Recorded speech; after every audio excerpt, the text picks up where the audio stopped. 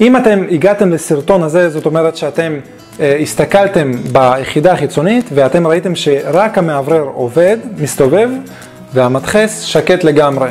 לא שומעים שהוא עובד. אה, מה זה יכול להיות? יכולות להיות כמה סיבות. קודם כל, יכול להיות שהבעיה היא בקבל של המדחס. אם הקבל לא תקין, אז הוא לא, הוא, לא יהיה לו כוח להפעיל את המדחס. זה דבר ראשון. דבר שני, יכול להיות שהחוטים, החיווט שליד המדחס נשרף איפשהו. אה, זה קורה בגלל שהמדחס מקבל המון כוח כשהוא עובד, וכשיש המון עומס על החוטי חשמל, אז עם השנים יכול להיות שהם נשרפים. אז אה, זה דבר נוסף שיכול להיות. דבר שלישי, יכול להיות שזה המדחס עצמו, כלומר הכל תקין והמדחס גמור. וסיבה רביעית אה, זה הכרטיס פיקוד ששולט על המדחס.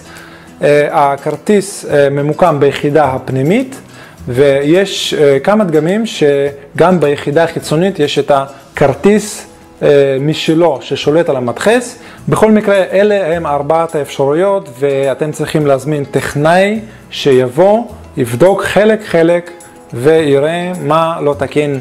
אם יש לכם את הטכנאי שלכם, אז תזמינו אותו והוא יעשה את העבודה. אם אתם לא מכירים מישהו ואתם צריכים טכנאי מזגנים, אז התקשרו לטלפון שכרגע מופיע למטה ואנחנו נשמח לתת לכם שירות באזור המרכז והשפלה.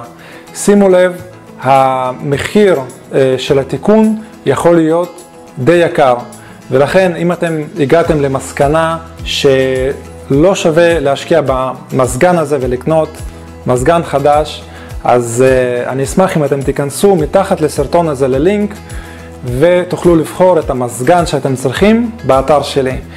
בכל מקרה, שיהיה לכם המון בהצלחה, להתראות.